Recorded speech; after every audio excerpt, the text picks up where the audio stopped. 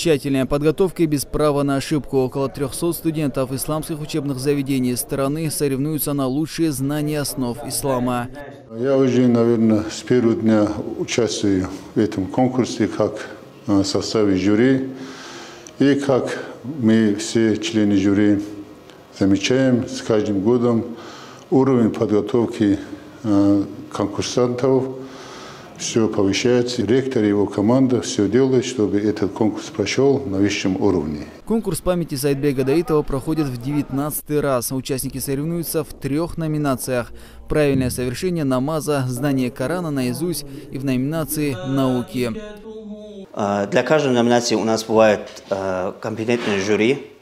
Жюри в реальности, они в этом конкурсе тоже показали, что они профессионалы своего дела, так как они, не покладая рук, работают с утра до поздней ночи, чтобы определить, определить финалистов и в дальнейшем определить э, победителей.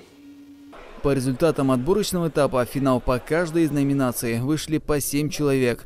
На официальной церемонии награждения объявили список победителей.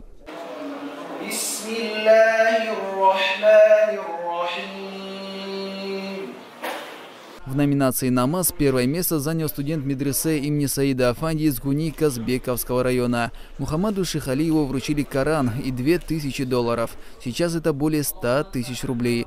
В номинации «Хивс Корана» победителем стал участник из Чеченской республики. Он стал обладателем автомобиля «Лада Гранта».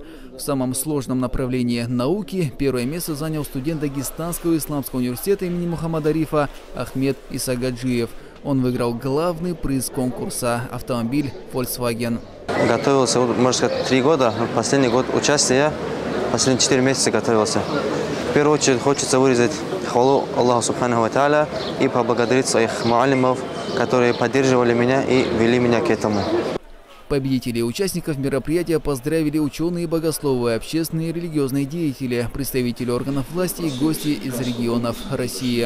Инициаторы конкурса, а это Исламский университет имени Сайдбега Даитова, отметили, что образовательные соревнования проходят с целью приобщить молодых мусульман к истинным знаниям ислама. Призы и подарки уже традиционно предоставил торговый дом «Кирго». Хамза Нурмагомедов, Мухаммад Алиев, Дауд Гасанов, телеканал ННТ, Хасаверт.